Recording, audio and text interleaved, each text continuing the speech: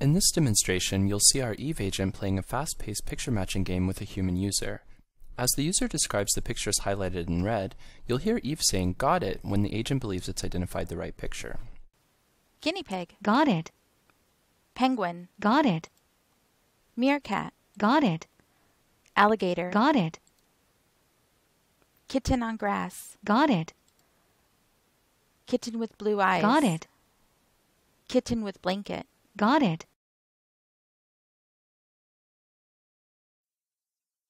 Achieving this level of speed and accuracy is technically challenging because it requires our agent to have a very different internal design than is used in most speech-enabled systems. In a typical spoken dialogue system, or other speech-enabled application, the system first waits for user speech to conclude, and then carries out a complex series of language processing steps in order to understand the user and to select and deliver the system's response. This design creates a significant latency inside the system and it's common for it to take one or two seconds for these kinds of systems to respond to what a user has said. This makes interacting with these systems much slower than talking with a human speaker. In contrast, as a user is speaking, our Eve agent performs all of these language processing steps in real time and in parallel. And it uses an optimized dialogue policy to identify when it has understood and the right time to respond. This enables the agent to eliminate most of this latency and to achieve very rapid understanding and response times.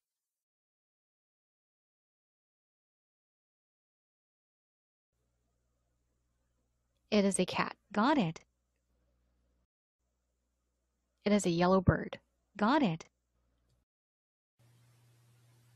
Celery. Got it. It is a sleeping black and white cat. Got it. So, which one is it? Bridge sign. Got it.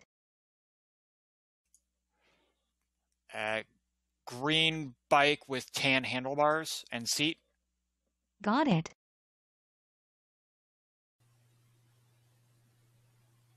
Two fingers with thumb. I don't think I can get that one.